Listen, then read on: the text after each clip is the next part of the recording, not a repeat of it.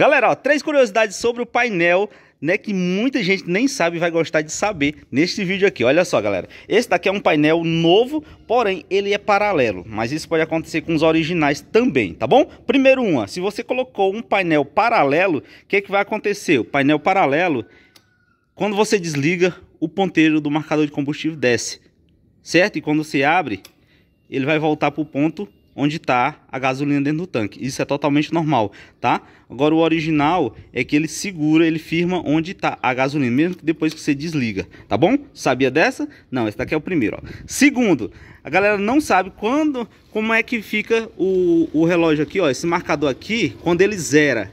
Se ele fecha cento, cento e pouco mil ou ele zera depois dos 100 mil. Sim, pessoal.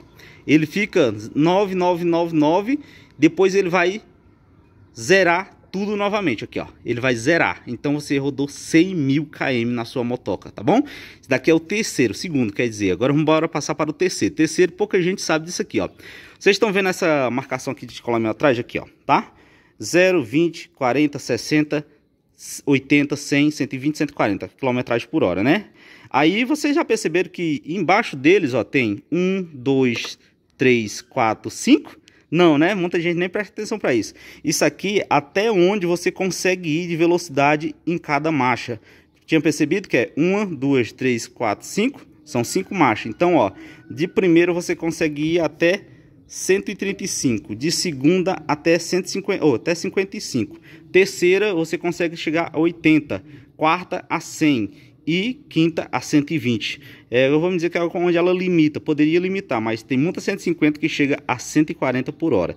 Ah, só uma quarta curiosidade de brinde para você que não sabia. Seja muito bem-vindo ao canal Jurandir Moto, sua moto você encontra aqui, se inscreve, deixa aquele likezão e ativa o sininho, tá bom? Meio dia 6 horas tem vídeos aqui no canal todos os dias.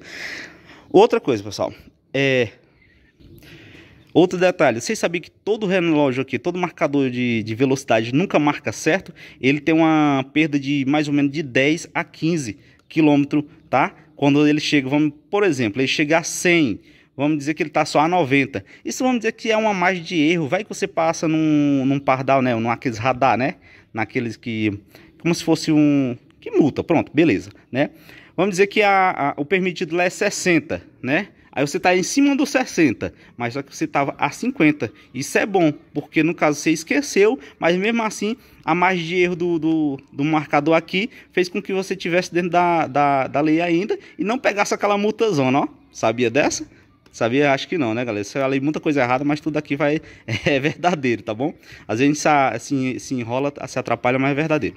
Isso aqui, pessoal, é km barra hora km por hora. Isso aqui, é, no caso, você vai fazer a medição, né? Quantos km por hora você está indo. Vamos dizer, por exemplo, é 40, 40 por hora. Então, vou fazer 40 km em uma hora, tá? Para quem não sabe, tá bom? Vamos dizer 100, 100 km. Então, 100 km eu vou estar fazendo 100 km por hora, tá? A cada hora eu ando 100 km, tá bom? Sabia dessa também? Então, valeu, até o próximo vídeo.